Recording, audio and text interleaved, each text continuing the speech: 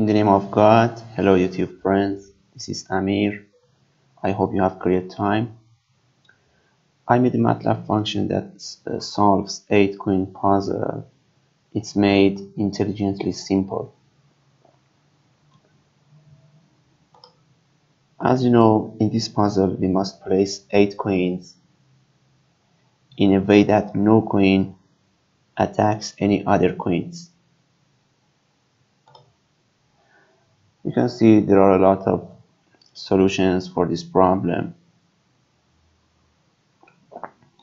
And I'm showing you that this function works properly and every time it gives a new permutation.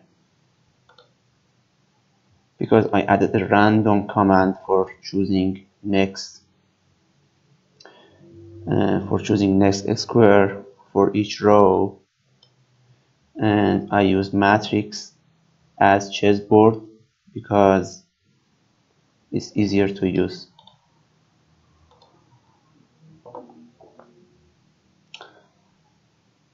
I copied some solutions from MATLAB to Excel.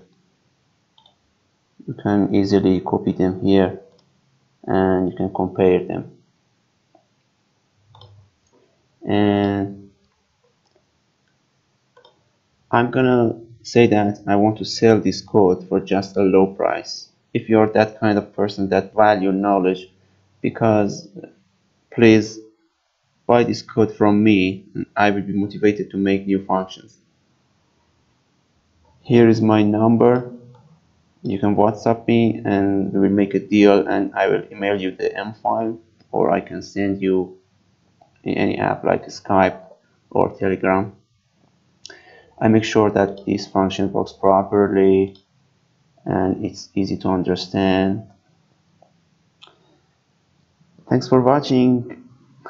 Please hit the like button if you like it